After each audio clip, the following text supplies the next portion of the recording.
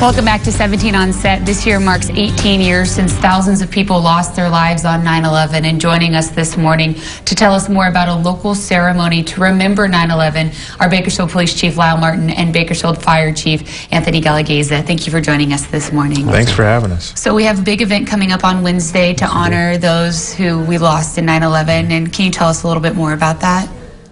Sure. Um, uh, Wednesday, September 11th at 8:30, we will be having a ceremony, our Always Remember ceremony. Uh, we find it really important, considering that of the 2,977 individuals that passed away that day, that tragic day, um, that 412 were first responders. Those first responders rescued 14,000 people, It's what the estimate is, that were ushered out of that building. And we think it's important, as far as that, is, and also the military, to honor them and the sacrifices they made that day, and always remember that day. And then we want to never forget. And it'll be at 8:30, 1315 Buena Vista Road, and we're excited about it every year because we want the community here to embrace that and never forget.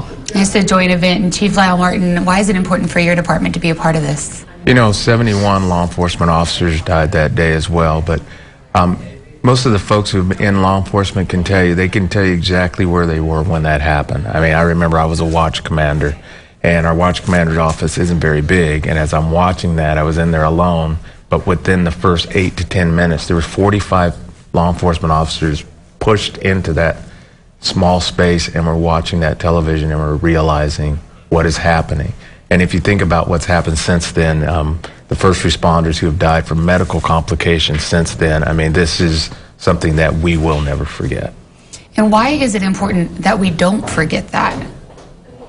Well, it's critical because those lives that were lost that day, um, we can't forget the civilian lives. We can't forget the first responders. But to us, it's just to make sure that daily we understand as a community what their first responders do. What the military did after that time, too, is so important for us to grasp and understand. And it, it, we changed that day as a country. I believe we came closer. Uh, we got to understand each other a lot better that day. And I think it's important for us to never forget that significant day. As we wrap up this interview, we'll ask, too, for those people coming, I know a lot of times people like to bring momentums or flowers. Is, is that something they can do on Wednesday?